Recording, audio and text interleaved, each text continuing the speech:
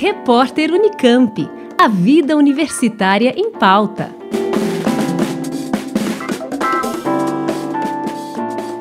Está em andamento ao longo deste mês a campanha Junho Vermelho, que busca incentivar a doação de sangue num período em que, por conta do frio e outros fatores, geralmente os estoques de sangue diminuem.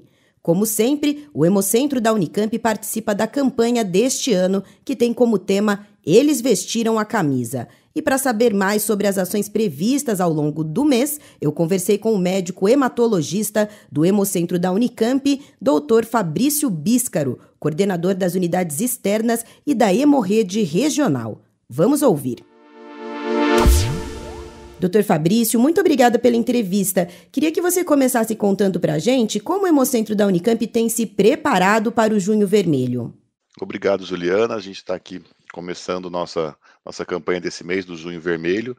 Essa campanha acontece de propósito no inverno, porque é um período que geralmente ocorre uma queda nas doações de sangue, historicamente, e ela visa principalmente a gente abastecer os estoques para a gente conseguir passar o período das férias de julho, que também já acontece uma queda acentuada. Então a gente é, geralmente começa junho com a queda na, por conta das temperaturas e acentua em julho. Então a gente tem que chegar em julho com um estoque razoável para conseguir atender a demanda daqui dos hospitais da região de eh, fornecimento de sangue. As campanhas do Hemocentro pelo Junho Vermelho todo ano contam com o apoio de personalidades e esse ano não é diferente, certo? Esse, esse ano é pelo segundo ano consecutivo, a gente está com o Vanderlei Cordeiro, ele é maratonista, ele é medalhista olímpico, e ele apoia essa causa, e ele comprou essa ideia, e ele falou, vamos fazer, vou fazer, que fez questão de fazer esse ano novamente com a gente, a, a campanha, e o tema da, desse ano da, da campanha é o Movimente-se, não sei se você chegou a ver, ficou bem interessante, porque a ideia é justamente essa, é fazer com que as pessoas se movimentem, vão até os postos de doação de sangue para ajudar e fazer o bem, então é, a gente quer que as pessoas pessoa, além de fazer a sua corrida, a sua caminhada, que ela se movimente, vá até o Hemocentro e movimente quem está à sua volta para fazer o bem.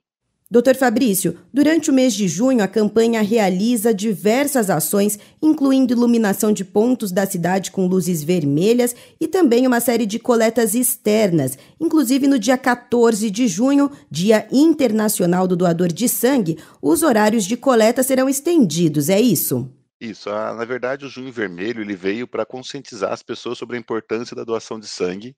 Ele é uma data que é, que é instituída no estado de São Paulo inteiro, então a gente consegue o apoio de diversas entidades, principalmente do estado do, ou do município, que acabam iluminando os principais pontos, os principais monumentos aqui de Campinas em, na cor vermelha para conscientizar as pessoas, para lembrar a pessoa, ó, se tiver um tempinho, vai lá no Hemocentro, doe sangue, é muito importante. E a gente tem o dia 14 de junho, que é o Dia Internacional do Doador de Sangue. Esse dia também é o ponto alto da nossa campanha, onde a gente permanece com os nossos postos de coleta num horário estendido, a gente faz um pouco uma movimentação, faz um pouco de festa nesse dia, que é para celebrar a, o doador de sangue mas o, na verdade a gente está celebrando não é só o doador, é essa conscientização das pessoas que sabem que todos podem precisar do sangue, a gente não sabe quando vai precisar. Então é importante que os estoques estejam bons o tempo todo. E o que, na sua opinião, faz com que as pessoas não compareçam para doar sangue? Qual seria o seu recado para quem, por algum motivo, nunca doou? Eu acredito que ainda, ainda hoje há muita desinformação. As pessoas não conhecem como é feito o processo, como é, como é que isso tudo acontece. Então, daí a importância da campanha. E é um procedimento extremamente simples. Você comparece a um dos nossos postos de coleta, ou no Hemocentro, ou no Hemonúcleo, e você vai poder fazer a sua doação de uma forma muito tranquila, muito organizada. A pandemia ela trouxe alguns desafios muito importantes para a gente nesse, questão de doação de sangue, o Hemocentro teve que fazer uma série, fez uma série de adaptações com agendamento, com tudo mais, para conseguir garantir a segurança do doador. E com isso a gente conseguiu está conseguindo passar esses períodos de pandemia com uma, uma, certa tranquilidade. Lógico, em alguns momentos a gente tem baixas de estoque muito críticas e a gente demanda campanhas. Mais importante é que as pessoas saibam que é um procedimento simples, estando bem de saúde, não tendo febre nos últimos 10 dias, estando é só comparecer essas unidades que você vai conseguir fazer sua doação e vai salvar até quatro vidas, que a gente fala que é muito legal. Eu brinco com, com os alunos, às vezes com os doadores, falo assim: você quer ser um super-herói? As pessoas falam: nossa, como é que faz para ser um super-herói? Não precisa ser médico, não precisa ser enfermeiro, não precisa usar capa. você estendendo seu braço e tendo boa vontade, você salva até quatro vidas toda vez que você doa sangue. E é muito legal você pensar nisso, que você está fazendo bem. E às vezes na correria do dia a dia, quem nunca está correndo para um lado para o outro e não consegue parar um pouquinho para fazer a doação. Fala, tira umas duas horinhas, vai lá visitar a gente, vai conhecer o Hemocentro, vai conhecer o Hemonúcleo, fala, ah, mas só tem aqui na Unicamp, eu moro lá perto do Mário Gatti, tem o posto de coleta do Mário Gatti também. Ah, mas eu sou de Sumaré, tem o posto de coleta em Sumaré também. Ah, eu sou de Piracicaba, tem o hemonúcleo em Piracicaba também.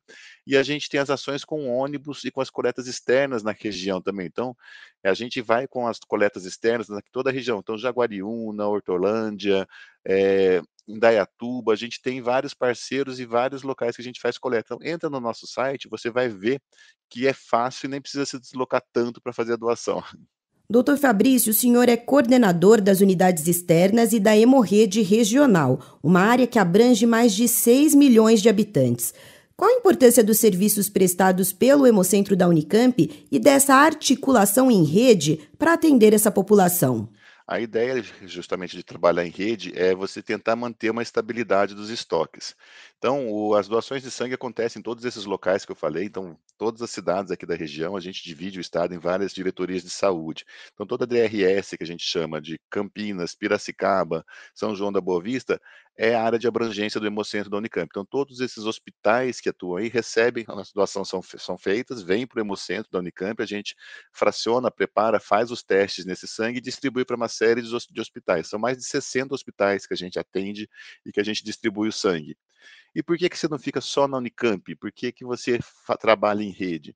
Se eu ficasse só na Unicamp, poderia ter momentos que eu ia estar faltando sangue na Unicamp e sobrando sangue na PUC, ou sobrando sangue no Mário Gatti.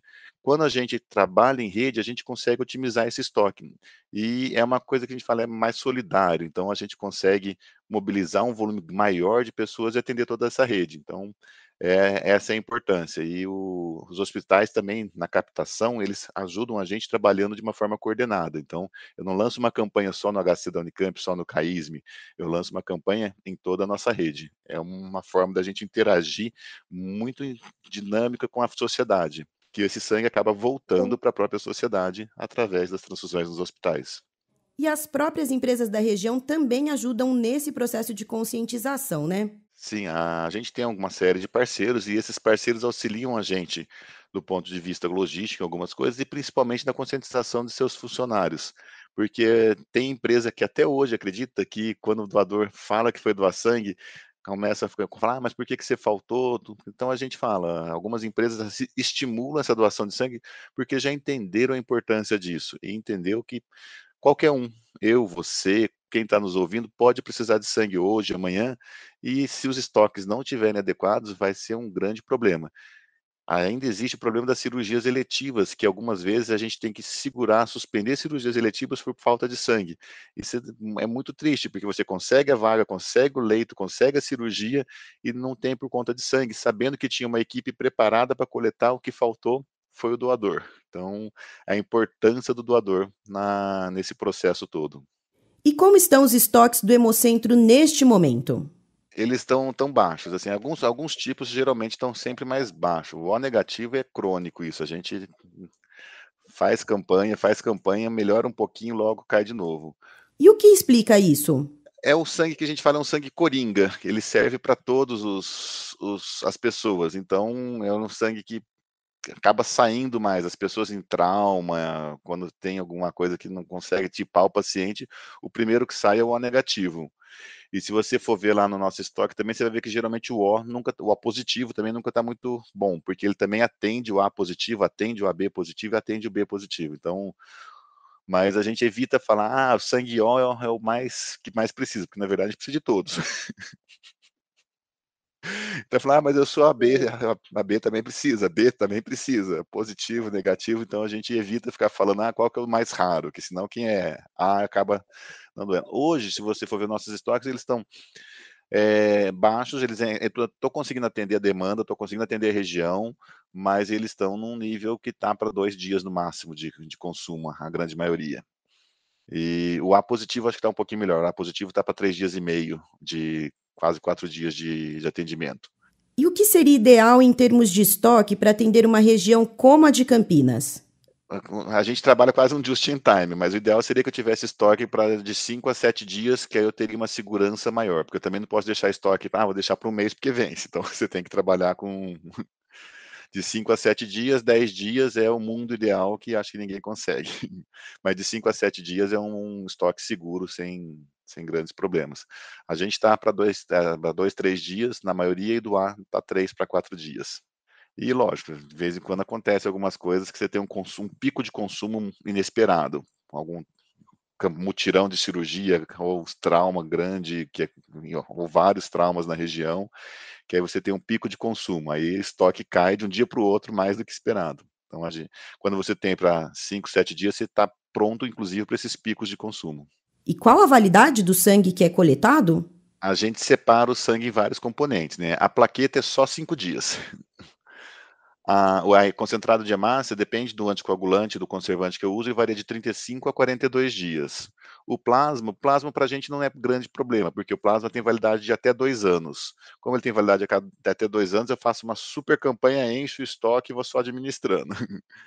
E o crio precipitado também é geralmente um ano, também não tem problema. Então, crítico, crítico do dia a dia é plaqueta e depois hemácia. Mas plaqueta é cinco dias. E eu geralmente gasto um dia para esperar o resultado dos exames, porque toda a bolsa que você coleta, você tem que fazer todas as sorologias, PCR, tipagem. Então, um dia geralmente eu, eu perco esperando os exames. Então, tem quatro dias para usar esse componente de plaqueta. Tem gente brinca, a gente não pode viver só de campanha, porque se ah, vou fazer uma campanha gigantesca, enche todo o estoque hoje, é, de hemácia no final do mês já não tá, já tá ruim de novo, e plaqueta numa semana seguinte já estaria ruim de novo. Então não adianta fazer só uma campanha, tem que ser uma coisa contínua. A campanha, lógico, conscientiza e a gente tenta pegar quem veio na primeira vez para virar um doador de repetição, né? Doutor Fabrício, para a gente finalizar, gostaria que você reforçasse quem pode realizar a doação de sangue e como deve proceder. É, a gente repete, é uma, uma, gama bem ampla, então tem que ter entre 16 e 69 anos. Lembrando que entre 16 e 18 é necessária a autorização de um dos pais para poder doar sangue. Precisa estar bem de saúde, não ter nenhuma doença crônica em tratamento e tá com um coração cheio de vontade de ajudar o próximo. É, basicamente são esses os critérios para poder doar sangue. Se você teve Covid, tem que estar pelo menos há 10 dias sem sintomas para poder doar sangue. E se você testou assintomático, pelo menos 10 dias depois do teste sem sintomas para poder doar sangue. E quem tomou a vacina contra a Covid-19 recentemente? A, a, vacina, depois de uma semana, você já pode doar sangue também. Essas vacinas são seguras, então não tem grandes grandes complicações. Então, de uma forma geral, sete dias após você já está liberado também. Muito bom, doutor Fabrício. Se o senhor quiser então deixar uma mensagem de incentivo à doação para os nossos ouvintes. Então, eu gostaria que todos os que estão nos ouvindo vestissem essa camisa, movimentassem e lembrar que fazer o bem, fazer o amor ao, o amor ao próximo, fazer essa, esse ato tão nobre de cidadania é fundamental, porque tem gente que tem pressa, tem gente que precisa, tem gente que está doente, se não tiver esse suporte de sangue, pode ser que não saia desse, desse período de hospitalização. Então, reserve um tempinho, se conscientize, compareça ao hemocentro ou hemonúcleo mais próximo de você e faça esse gesto de cidadania e venha para esse lado do bem que a gente fala. A gente ouviu a entrevista com o médico hematologista Dr. Fabrício Bíscaro, que deu mais detalhes sobre a campanha Junho Vermelho para a conscientização da população sobre a importância da doação de sangue, campanha que é organizada pelo Hemocentro da Unicamp e demais integrantes da Hemorrede Regional. Lembrando que no site do Hemocentro da Unicamp você pode tirar dúvidas, conferir o nível dos estoques e o calendário de coletas externas, agendar sua doação e também ficar por dentro das outras ações e pesquisas realizadas pela unidade de saúde. Anote aí o endereço hemocentro.unicamp.br. Juliana Franco, Rádio Unicamp. Repórter Unicamp. A vida universitária em pauta.